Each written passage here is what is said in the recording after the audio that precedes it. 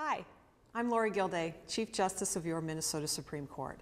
On September 17th each year, we pause to observe Constitution Day. The day is set aside to recognize the signing of the United States Constitution in 1787 and to reflect on our rights and responsibilities as citizens.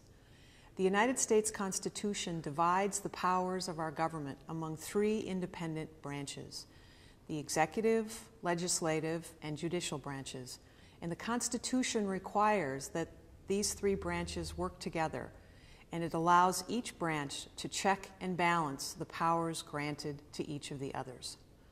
The United States Constitution was designed not only to declare what the government could do, but also what it expressly could not do and in so providing, the Constitution establishes the freedoms and protections under the law that we as citizens enjoy.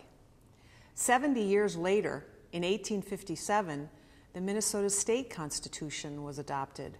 Our state constitution was modeled after the United States Constitution, and it includes a Bill of Rights and also divides the powers of our state government into three branches that check and balance each other, thereby preserving our rights and freedoms. Article 6 of the Minnesota Constitution establishes the Minnesota Judicial Branch. The role of the judicial branch of government under both the United States Constitution and the Minnesota Constitution is to peacefully resolve disagreements while balancing the rights and freedoms of the parties.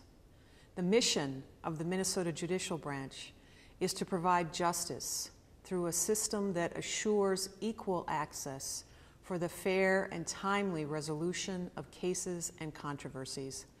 The Minnesota Judicial Branch is proud to celebrate with all of you the freedoms guaranteed by our two constitutions. Happy Constitution Day.